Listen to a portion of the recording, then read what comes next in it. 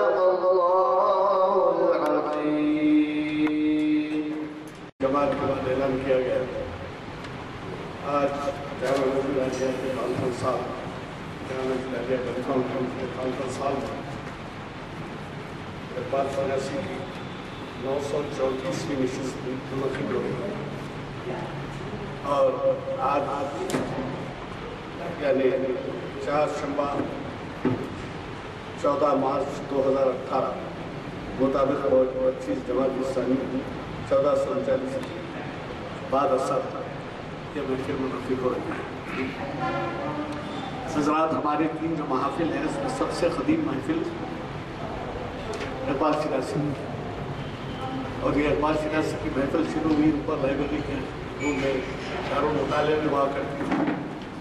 اور جب تعداد بڑھنے لگی تو ہم نے ایک کانفرنس ہال ترتیب دیا سعید آرکیٹیکٹ صاحب۔ نے اور پھر اس طرح سے یہاں پر یہ محافل ہوتی ہمارے محافل میں ایک طریقہ رہا ہے اور وہ یہ رہا ہے کہ جب کبھی کوئی ایک مارک کو پہنچتا ہے لینڈ مارک کو اس سے سنگ میل کہا جاتا ہے یعنی سو لیکچرز، تو ہم اس کی گلپوشی کرتے ہیں۔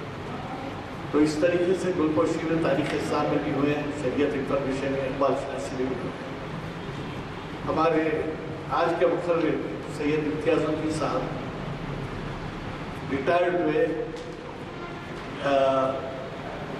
میں برقی میں سپرنٹینڈنٹ انجینئر ہے چیف انجینئر کے حیثیت سے، اور اس کے بعد سے وہ ہم سے وابستہ ہو گئے۔ ان کے پہلے خطاب میں مجھے یاد ہے کہ لوگوں نے اس قدر اس کی قدردانی کی کہ میں نے کہا کہ آپ ایسے بیٹسمین ہیں جو پہلے اترتے ہی آپ کا سینچری مار دیے۔ اتنا اچھا خطاب تھا۔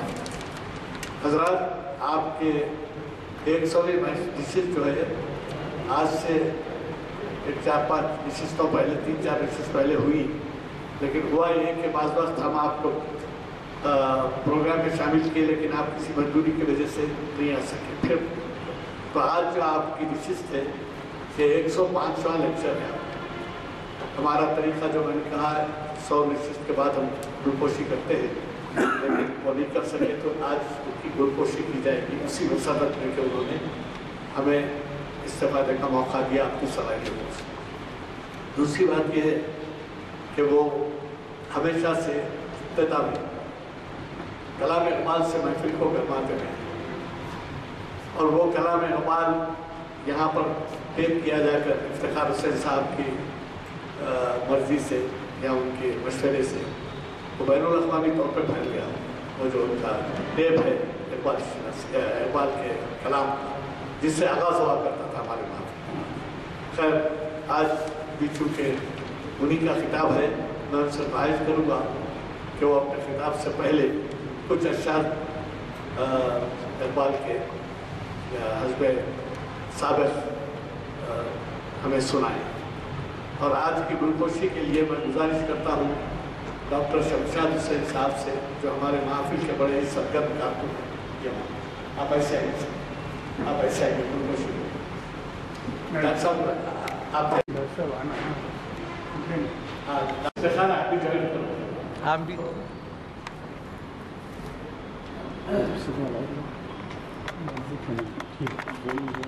Thank you. ہو گیا۔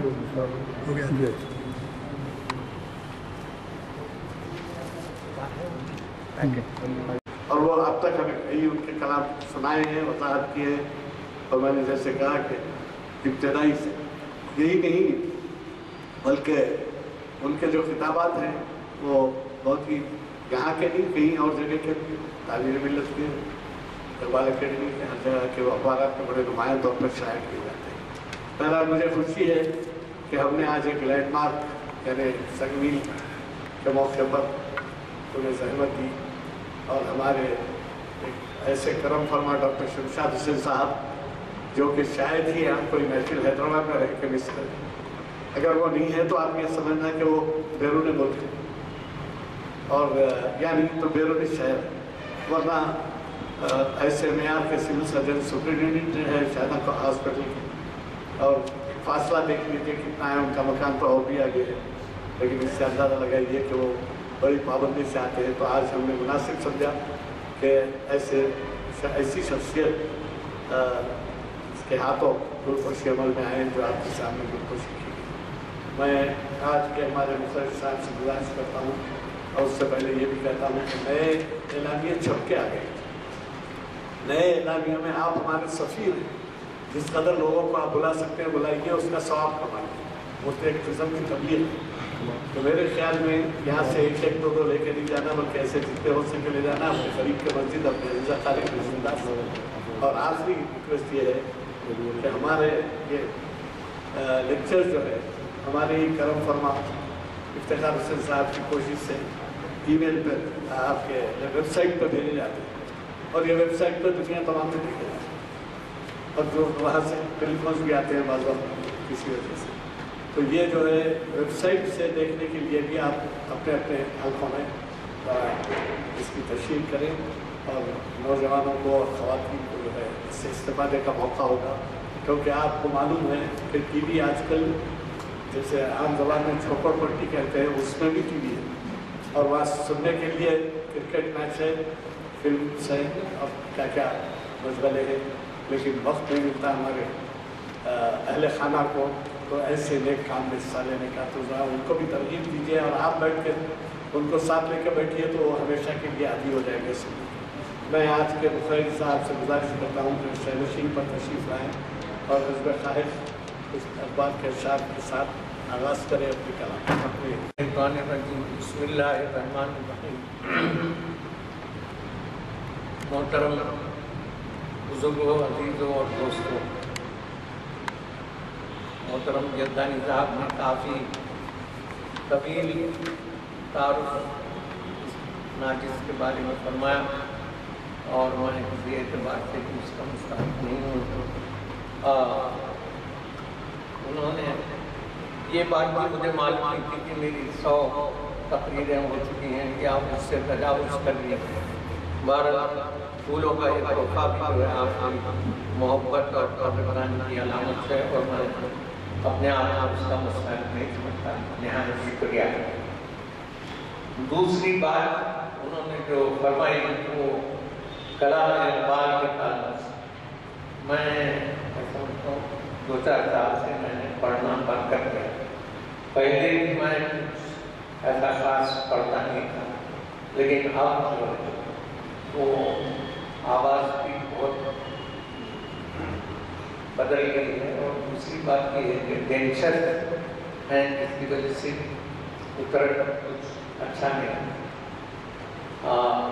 اور ہر ایک کے ساتھ ہوتا ہے، میں تو خیر کسی شمار و قطار نہیں جیسے ابھی میں ہمارے افتخار حسین کا کہہ رہا تھا میرے پاس بعد بعض ایسے یوٹیوب میں کلیم عاجز صاحب کے کلام کے نمونے نکل کے آئے جو ان کے جوانی کے زمانے کے یا اس کے فوری بات کے ہیں تو بہت ہی عمدہ کر ورنہ آخری زمانے میں وہ بالکل کوئی بات باقی نہیں ہر ایک کے ساتھ ہوتا ہے میرا تو پہلے سے کوئی خاص کرم تھا نہیں۔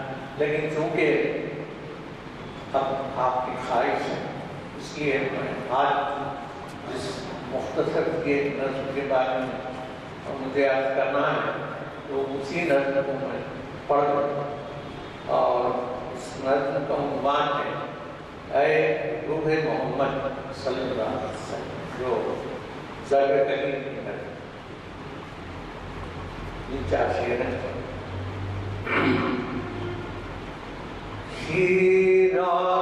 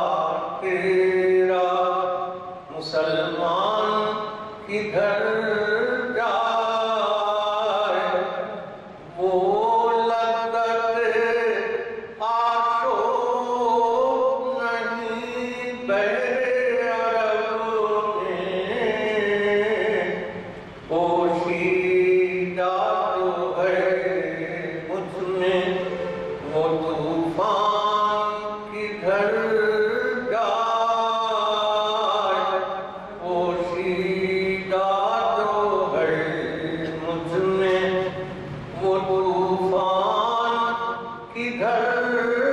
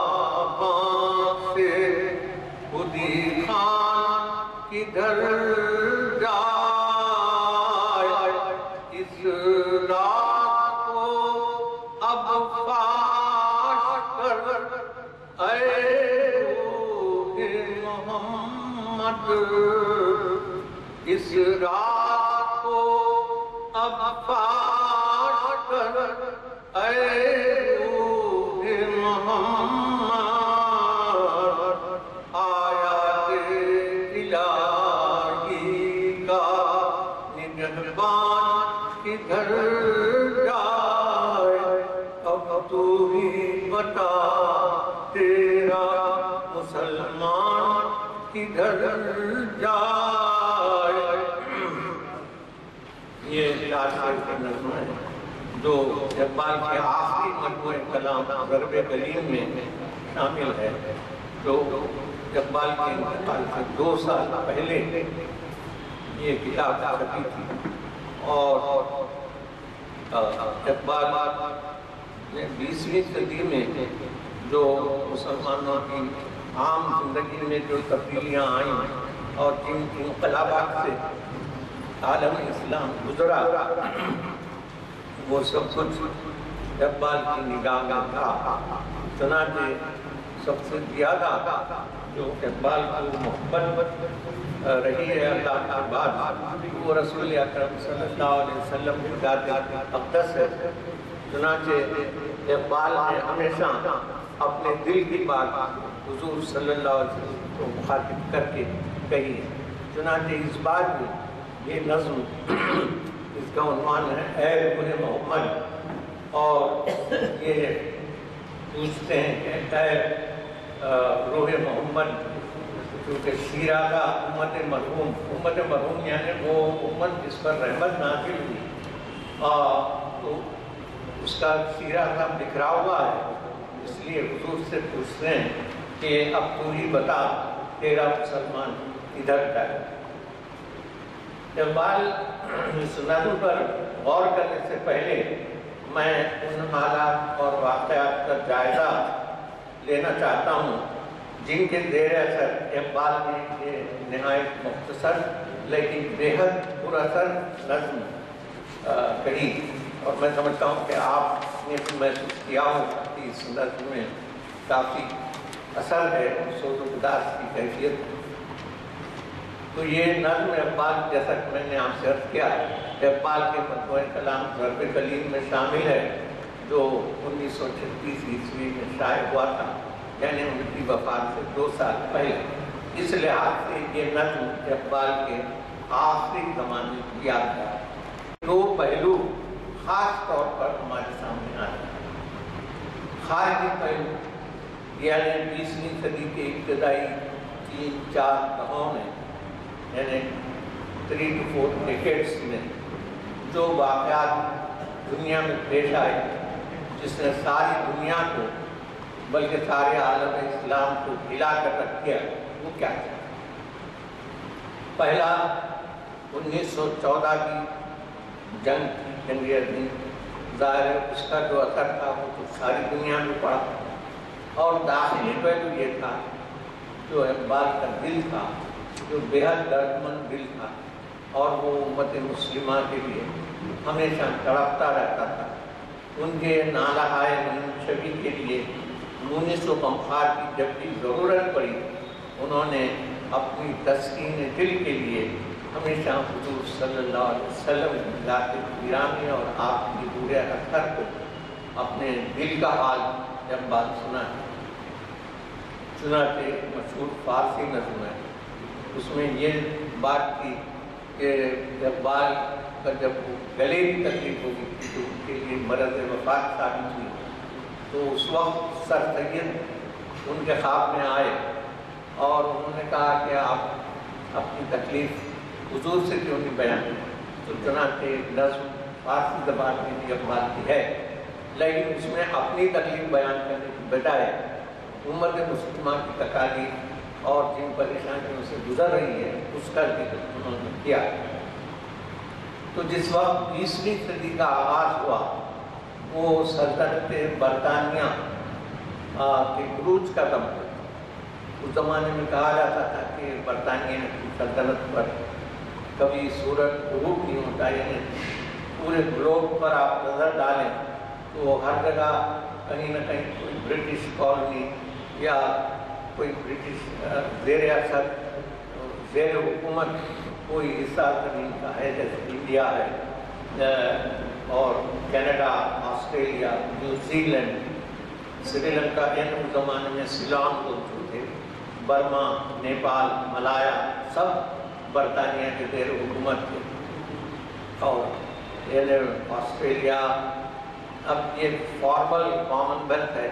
تو ابھی بھی کینیڈا میں نامنل کچھ نہ کچھ اثر برطانیہ کا ہے اور آسٹریلیا میں بھی ہے۔ لیکن سب اپنی جگہ پر مختار ہے بہرحال اس زمانے میں برطانیہ یعنی دنیا کی بہت بڑی طاقت اس کا شمار تھا، بلکہ امریکہ بھی اس کے بعد افریقہ، جنوبی اور بستی امریکہ میں برطانیہ نو آبادیات موجود تھیں۔ فرانس کا قبضہ جو تھا وہ انڈو چائنا تھائی لینڈ اور شمالی افریقہ کے بعد ممالک پر تھا۔ انڈونیشیا، ہالینڈ کی کالونی تھی۔ پرتگال اور اسپین کی عملداری افریقہ اور جنوبی امریکہ میں بھی تھی۔ اور پورچگل تو جو ہمارا گوا ہے، اس پہ پورچگل حکمران تھا۔ اور ادھر پانڈیچیری جو پونڈیچیری کہلاتا ہے فرانس کی کالونی بہرحال یہ تمام جو بیرونی ممالک تھے، انہوں نے جہاں جہاں کچھ زرخیزی دیکھی، وہاں اپنا قبضہ جما لیا۔ تھا تو انیس سو نو عیسوی میں اینگلو پرشن آئل کمپنی کی بنیاد پڑی۔ جس کے بہت بڑے حصہ جو تھے، وہ برطانیہ کے قبضے میں تھے۔ چنانچہ اسی بہانے برطانیہ نے ایران پر اور مڈل ایسٹ پر اپنا قبضہ جمایا تھا اور ایران کی اندرونی سیاست میں برطانیہ دخل دے رہا تھا۔ اسی زمانے میں عالم اسلام کی تاریخ کا ایک بدترین دور تھا۔ جب ترکی سلطنت جو تھی وہ بھی یعنی بہت کمزور پڑ گئی تھی اور ترکی کو لوگ یورپ کا مرد بیمار کہا کرتے اور چنانچہ خلافت بھی اسی زمانے میں انیس سو بارہ سے انیس سو سولہ تک خلافت ختم ہو گئی، جس کا مسلمانوں کو بہت دکھ ہوا۔ بلکہ مہاتما گاندھی نے بھی خلافت موومنٹ کی بہت تائید کی تھی اور اپنا فل سپورٹ انہوں نے اس زمانے میں دیا۔ تو بہرحال اس کے بعد مصطفیٰ کمال پاشا کی حکومت ترکی میں آئی۔ جون تو انہوں نے یہ کیا کہ اتنا ایکسٹریم پہ چلے گئے کہ عربی زبان کو تک برخاست کر دیا عربی رسول خط اور ہر چیز کو ایون پردہ وغیرہ سب مصطفیٰ کمال پاشا کے زمانے میں نکال دیا۔ اذان پہ بھی پابند اذان پر بھی شاید اس زمانے میں پابندی۔ تو مصر میں شاہ فاروق جو تھے وہ انگلینڈ کے اشارے پہ ناچتے تھے۔ عراق پر برطانیہ کا مکمل کنٹرول تھا۔ لیبنن اور شام بھی خلافت عثمانیہ کے خاتمے پر فرانس کی عملداری میں چلے گئے۔ تو خلافت کے خاتمے پر عربوں کو ان کی زمین سے نکالا جانے لگا اور فلسطین میں یہودیوں کو بسایا جانے لگا۔ کہ اس زمانے میں چل رہا ہے کہ گاندھی جی نے بھی فلسطینیوں کے حق کو کی سپورٹ کی تو یہ وہ پس منظر تھا جس نے اقبال کو یہ کہنے پر مجبور کر دیا کہ شیرازہ ہوا، امت مرحوم کا ابتر اب تو ہی بتا تیرا مسلمان کدھر جائے تو مجھے اس نظم کا خیال اس لیے آیا کہ اس دن جس دن مجھ سے کہا گیا تھا کہ آج تقریر کرنا ہے۔ تو اب اتنا مسلم کمیونٹی کو اتنی نفرت کی نگاہ سے دیکھا جا رہا ہے ساری دنیا میں کہ خود ہمارے پڑوسی سری لنکا میں جو قتل و خون ہو رہا ہے، مسلمانوں کا، برما میں ہو چکا ہے۔ اور برما کے لوگ تو ابھی تک پھر رہے ہیں، ادھر ادھر۔ خود ہماری مسجد میں بھی مانگنے کے لیے آئے تھے۔ تو ظاہر ہے کہ تمام چیزیں ایسی ہیں جن سے بہت تشویش محسوس ہوتی ہے۔ کیونکہ بدھسٹ لوگ مہاتما بدھ جو تھے وہ بالکل پیس کے حامی تھے۔ لیکن بدھسٹ لوگ جب لڑائی جھگڑے پر اترتے ہیں تو میں سمجھتا ہوں دنیا کی کوئی قوم ایسا کچھ تو خون نہیں کرتی جتنا کہ بدھسٹ لوگ کرتے ہیں۔ جیسا کہ ہم برما میں دیکھتے ہیں اور سری لنکا میں۔ اور جو وہاں پہ آن آن سو کی جو نوبیل پرائز ونر ادیبہ ہے اور اس کا آج کل بہت ماندان ہے۔ تو اس جس زمانے میں وہ قید میں تھی، اس زمانے میں تمام لوگوں نے اس کی سپورٹ کی تھی۔ یہ سوچ کر کے وہ امن کے لیے کام کریں لیکن وہ خود بھی جو ہے مسلمانوں کے ختم میں شریک ہے اور کوئی پرسان حال نہیں۔ ان باتوں کو دیکھ کر جیسا کسی بھی بڑے ادیب بڑے شاعر، بڑے- فلسفی یا تھنکر کے بارے میں کہا جاتا ہے کہ he is contemporary of every age یعنی ہر عصر کا ہم عصر ہوتا ہے، بڑا تھنکر یا بڑا فلسفی۔ تو اقبال بھی جو ہے، ان کے کلام کو جب ہم پڑھتے ہیں، تو سو برس پہلے، سوا سو برس پہلے کہیں کی باتوں کو بھی آج ہم غور کرتے ہیں، تو دیکھتے ہیں کہ آج بھی تقریباً انہی حالات سے امت مسلمہ گزر رہی ہے۔ اور اس لیے اور اس صورت میں جیسا اقبال نے اپنا روح سخن یا اپنی عرضداز حضور اکرم صلی اللہ علیہ وسلم کے حضور یا آپ کے توسط سے پیش کیے مسلمانوں کو بھی حضور کے اسوے پر عمل کرنا چاہیے۔ اور یہ جیسا اقبال پوچھتے ہیں کہ اب تو ہی بتا تیرا مسلمان ادھر جائے۔ اس میں جو ادھر کا لفظ آیا ہے، وہ ایک ایک لحاظ سے جغرافیائی سینس بھی رکھتا ہے۔ ادھر۔ یہ کون سی ڈائریکشن ہے؟ اس پر جانا چاہیے۔ تو ظاہر ہے کہ مسلمان کے لیے سراط مستقیم اہم چیز ہے۔ اور پھر اقبال یہ بھی کہتے ہیں کہ آیات الہی کا نگہبان کدھر ہے۔ تو یہ بکھرا ہوا قافلہ ایک سمت کی تلاش میں ہے۔ اور اس میں تسکین و تسلی کا سامان بھی اگر ملے گا، تو اسی ذریعے سے ملے گا اقبال کو منزل کی تلاش ہے اور وہ خادی اعظم صلی اللہ علیہ وسلم کی روح اثر سے التجا کرتے ہیں کہ وہ اس بے سر و سامانی کے عالم میں رہنمائی فرمائیں۔ اس لیے کہ محمد عربی سے ہے، عالم عربی۔ اقبال کا خیال ہے اور ظاہر کہ ہر ایک کا یونیورسل تھاٹ ہے۔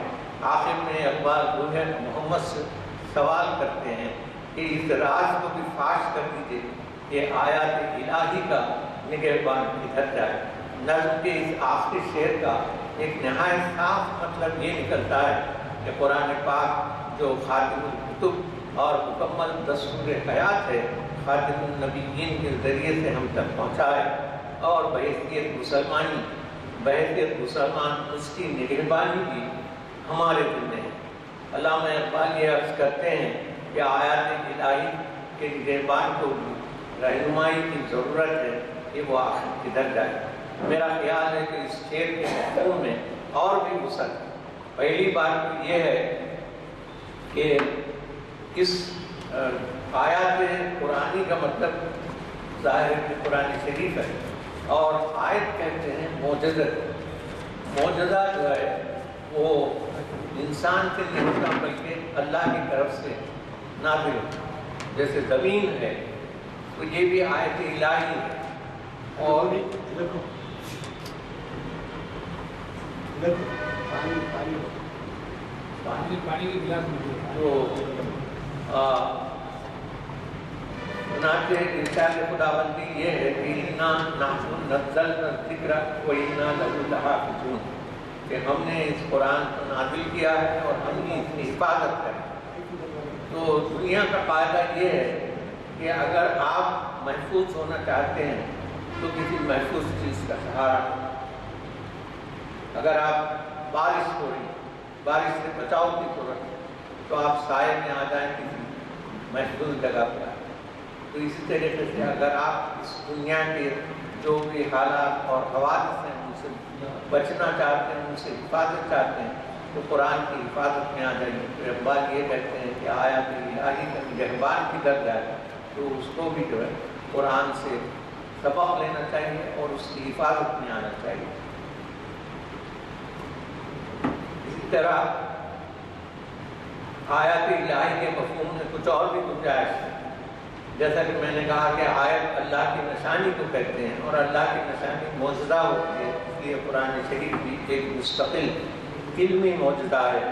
اسی طرح سورج، چاند، ستارے، زمین، آسمان غلط کائنات کی ہر شے کا شمار آیات الہی میں ہے۔ اللہ تعالیٰ اکیسویں پارے میں سورہ روم میں ارشاد فرماتے ہیں کہ اللہ نے اولاد آدم کے جوڑے بنا دیے ہیں اور ان میں محبت کا مادہ رکھا۔ تو یہ محبت بھی جو ہے، ایک طرح کی آیت آیت اللہ ہے وہ ایک دلی جذبہ ہے جو کسی کوشش سے پیدا نہیں ہو سکتا تا وقت کہ اللہ پیدا نہ کرے۔ تو آسمان اور زمین کا بنانا، مختلف زبانوں کا وجود میں آنا، مختلف رنگ و نسل کا پایا جانا، رات میں نیند کے ذریعے سے انسان کو سکون پہنچانا، دن میں اپنے فضل سے روزی پہنچانا، بجلی کا چمکنا، بارش کا ہونا، سوکھی کی زمین کا زندہ ہونا، اور اسی زمین سے قیامت کی جو اولاد آدم کا اٹھایا جانا، یہ سب آیات الہی ہیں۔ اسی تناظر میں جب اقبال یہ کہتے ہیں، اس راز کو اب فاش کر، اے روح محمد، آیات الہی کا نگہبان کدھر جائے تو ہم کو تین باتیں قابل غور معلوم ہوتی ہیں۔ راز، آیات الہی اور کدھر جائے تکرار جو پوری نظم میں موجود ہے۔ کیا ہوا کدھر جائے؟ سے جغرافیائی سمت کا اشارہ ملتا ہے۔ اور ہمارا ذہن فوراً زمین کی طرف منتقل ہوتا ہے۔ یہ زمین بھی ایک آیت الہی جب اللہ نے فرشتوں سے ارشاد فرمایا کہ میں انسان کی نسل پیدا کرنا چاہتا ہوں جو زمین پر نیابت کرے گی تو فرشتوں نے کہا کہ آپ ایسوں کو پیدا کر رہے ہیں جو اتنا فساد پھیلائیں گے۔ لڑائی، جھگڑا پیدا کریں گے۔ تو جب اللہ نے ارشاد فرمایا کہ جو میں جانتا ہوں تم نہیں جانتے۔ تو اللہ تعالیٰ جانتے ہیں کہ انسان کی کیا اس کی قابلیت ہے اور کیا اس کی خوبی ہے۔ اسی لیے اللہ نے یہ نعمت، قرآن کی نعمت کو یا بار امانت کو، وہ پہاڑوں اور آسمانوں، زمین، کسی کو نہیں دیا، بلکہ انسان کو دیا۔ اسی لیے اب اقبال یہ پوچھتے ہیں کہ آیات الہی کا نگہبان کدھر کا ہے۔ گویا تخلیق آدم بجائے خود سینہ کائنات کا ایک راز اور جواب بھی ہمیں مل جائے۔ اس کا ایک محکم شان جواب خود قرآن کریم میں موجود ہے کہ تیئیسویں پارے میں سورہ زمر میں اللہ تعالیٰ ارشاد فرماتا ہے، بل اب اللہ واسعہ یعنی اللہ کی زمین کشادہ ہے۔ اس وسیع و کشادہ زمین میں اللہ کے بندوں کے لیے بڑی سمائی ہے، اس کے علاوہ بیان مشرق میں اقبال کی ایک فارسی نظم ہے، جس کا عنوان ہے الحمد للہ یہ نظم فارسی ہے اور اسے سنا کر میں اپنی بات ختم کرتا ہوں۔ یہ نظم جو ہے، وہ مشہور فاتح تارق کی زبان جس نے اسپین پر حملہ کیا کہ تارق جو مر کنارے اندلس سفینہ سو گفتن کار تو بنگاہ خرد خٹاس دورین ہر سواد وطن باز تو رسیم، ترک سبب ضرور شریعت خدا رواز خندیر دستخیز بشمشیر بند و گفت، ہر ملک ملک ماس کے ملک خدا ماس۔ یعنی تارک نے جب اسپین کی سرزمین پر پہنچنے کے بعد اپنے سکینے جلا دیے اور واپسی کی تمام راہیں بند کر دی۔ تو اس کے ساتھیوں نے کہا کہ یہ کام آپ عقل کے خلاف کر رہے ہیں کہ اگر ہم اپنی واپسی کا انتظام بھی ختم کر دیں تو ہم کبھی واپس نہیں ہو سکیں گے۔ تو اس وقت تارک ہنسا اور کہنے لگا کہ اگرچہ کہ ہماری جو سرزمین وطن ہے لیکن وہ ہم سے بہت دور ہے۔ اور اگر تم بتاتے ہو کہ یہ جو میں نے جلا کیا تو ضرور شریعت درست نہیں ہے۔ لیکن میں یہ کہتا ہوں کہ اپنی شمشیر پر ہاتھ رکھ کے ہر ملک، ہمارا ملک ہے کہ ہر ملک خدا کی سرزمین تو اس طرح اقبال اپنے سوال جواب ڈھونڈتے ہیں۔ اور جب تارک بن زیاد جو مراکشی مجاہد تھا، ساحل اندلس پر اترا تو اس نے اپنے جہازوں کو آگ لگا دی۔ بعض لوگوں نے اس سے کہا کہ آپ کا یہ عمل عقل مندی کے خلاف ہے، کیونکہ اگر کسی وجہ سے واپس جانا پڑے تو واپسی کی کیا صورت ہوگی؟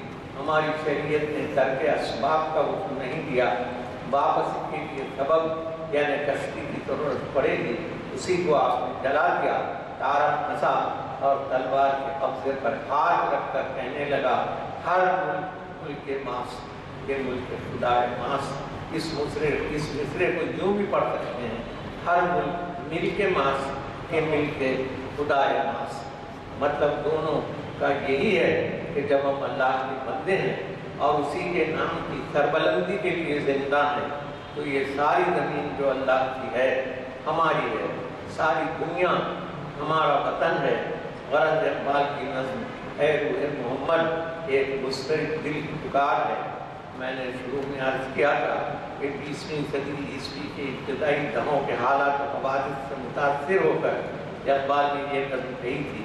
لیکن اقبال یہ بھی جانتے ہیں کہ حالات و حوادث ہر دور میں، ہر عہد میں اور ہر صدی میں ہوتے آئے ہیں۔ چنانچہ وہ کہتے ہیں کہ ستیزہ کار رہا ہے۔ ازل سے تا امروز چراغ مستفی سے شرار لہبی اللہ کا احسان ہے کہ چراغ مستفی آج بھی سارے عالم کے لیے شم ہدایت ہے اور شم ہدایت بن کر فروزہ ہے۔ البتہ شرار لہبی بڑھتا ہے کہ خاکس کر بن آخری دعوت اور ہمارے آج کے مخرج صاحب نے ایک صدی ایکسس کی گنتی کی تکمیل کی، ایک سو پانچواں شاید کی نشست ہے۔ حضرات، جیسے کہ آپ واقف ہیں، ہم ہمیشہ عنوان مخرج پر چھوڑ دیتے ہیں۔ آج کا عنوان ہمارے مخرج صاحب نے جب منتخب کیا، وہ خود ان کے کتاب سے واضح ہے کہ حالات جو کچھ بھی ہے آج کل بین الاقوامی اور امت مسلمہ کی ذمہ داری ہے، اس کو پس منظر میں رکھتے ہوئے انہوں نے اس عنوان کا انتخاب کیا۔ اور اس عنوان سے بہت ہی انہوں نے انصاف کیا۔ ایک اور آپ سے گزارش ہے کہ وہ اتفاق کی بات ہے کہ وہ انٹرنیٹ پر شاید دیکھا گیا تو ایک آپ کے ہاتھ میں پیمفلیٹ تقسیم کیا گیا ہے۔ کسی کو نہیں ملا ہے تو لے سکتے ہیں۔ وہ دیکھا گیا انٹرنیٹ پہ تو اس میں کاپیز نکلوائے گئے اور وہ کاپیز آپ پہ تقسیم کیا گئے۔ ان کاپیز میں شہر حیدرآباد کا قدیم ہے شہر کہلاتا ہے۔ اس کو مکہ مسجد کو سب سے بڑی اور ایکٹیو مسجد قرار دیا گیا۔ ہے اور یہاں اعزاز یہ حاصل ہوا ہے کہ مسجد اہلیہ کو، شہر کے اس حصے کو اس میں بڑی مسجد قرار دیا۔ ویسے کہنا یہ ہے کہ اس طریقے کے مساجد میں ایکسٹرمکس کہ ایسی ایسے علاقے میں مسجد واقع ہونے کے باوجود اس میں یہ سب کام اور یہ سب دینی احکام کی پابندیاں ہوتی ہیں۔ اور یہ سب میں ذکر اس وجہ سے کہہ رہا ہوں کہ یہ آپ لوگوں کے تعاون کا نتیجہ ہے۔ آپ اندازہ لگائیے کہ بائیس سال سے اگر یہ چل رہے ہیں اقبال شناسی کے محافظ اور پندرہ سولہ سال سے تاریخ اسلام یا شریعت یہ چل رہے ہیں، تو یہ کس کے تعاون کا نتیجہ ہے۔ یہاں سے کوئی بھی جو ہے دو دو کلومیٹر، چار چار کلومیٹر، آٹھ آٹھ کلومیٹر سے کم کے راستے سے نہیں آنا۔ تو ان محافل کو جاری رکھنے میں آپ کا بڑا تعاون ہے۔ میں اس کے لیے اللہ سے دعا کرتا ہوں کہ آپ کا تعاون جاری رہے۔ اور ہماری جو کوشش ہے کہ نوجوانوں میں یہ زیادہ سے زیادہ محافل عام ہوں، اس میں آپ کا تعاون رہے۔ یہ بھی عرض کر دوں کہ نئے اعلامیے شائع ہو کے آ چکے ہیں اور وہ اعلامیے زیادہ سے زیادہ لے جائیں۔ اور آخری بات یہ کہتا ہوں کہ میں غلطی سے میں نے ٹی وی کا حوالہ دیا۔ وہ ہمارے طاہر علی صاحب نے کریکٹ کیا کہ وہ ٹی وی نہیں بلکہ انٹرنیٹ پر جو یہاں سے ریلے ہوتا ہے کہیے یا نشر کیا جاتا ہے، وہ انٹرنیٹ پہ دیکھا جا سکتا ہے۔ اور انٹرنیٹ تو آپ کو معلوم ہے کہ کمپیوٹر یہاں پر بھی ہے انٹرنیٹ کا استعمال۔ تو آپ ترغیب بھی دیں انٹرنیٹ کے اوپر سننے کی دیں تو میں دعا کی خیر گزارش کرتا ہوں آج کے مخرج صاحب سے۔ اللہ تعالیٰ عمر میں دراز عمر دراز کرے اور اس بات صحت رکھے، تاکہ ہمارے محافل کو حسب ثابت فرما دیں الحمد للہ رب العالمین۔ اللہم صلی علی سیدنا مولانا وعلى آل سيدنا ومولانا مبارك وسلم. ربنا آتنا في الدنيا حسنة وفي الآخرة حسنة وقنا عذاب النار. ربنا اغفر لي ولوالديك وللمؤمنين يوم يقوم الحساب. رب ارحمهم وارحمهم بيانا صغيرا. وصلى الله تعالى على خير خلقه. سيدنا ومولانا شفيعنا ونبينا وحبيبنا وآله وأصحابه وأزواجه. وذرياته وأهل بيته أجمعين وسلم تسليما كثيرا كثيرا. سبحان ربك رب العزة عما يصفون وسلام على المرسلين والحمد لله رب العالمين.